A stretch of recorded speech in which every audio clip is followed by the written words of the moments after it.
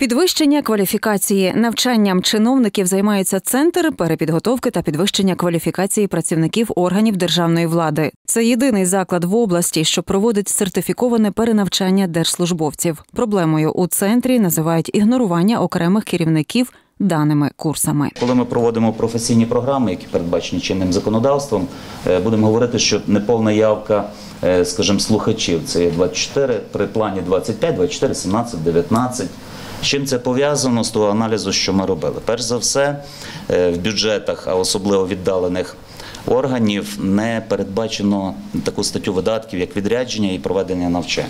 І хотілося, щоб десь такі упущення не були більше в наступному році, обов'язково передбачали ці кошти.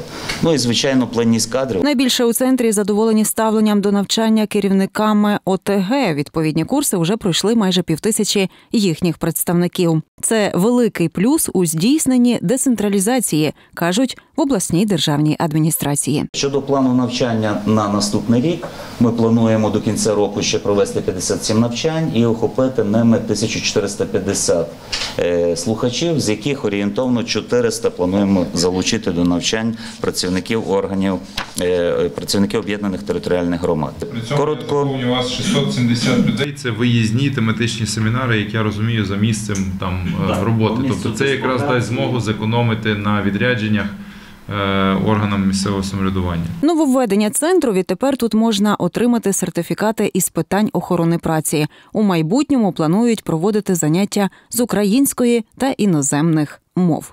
Оксана Семко, Оксана Дудій, Святозар Савчук. Новини на вежі.